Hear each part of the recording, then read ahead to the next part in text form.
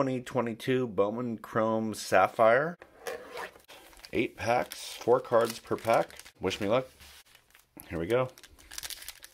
It's a parallel on this one. Save the parallels for last. Oh, there's a nice Bobby Witt. That is a sweet card. We're going to save the color for the end here. Let that just simmer. There's more color right there. No parallel on this one. Oh, there is a parallel. How did I miss that? Got four packs to go. Could I possibly get a fourth parallel here?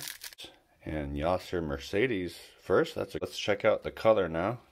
Some of the highlights from this box we just opened. A Bryce Harper yellow out of 50. Marsh out of 99. The Aqua. William Bergolla first. That's an orange out of 75. And then, of course, the big hit of the box, the Witt Jr. Pretty good value. And this card alone paid for the box and then some. You have a great rest of your day.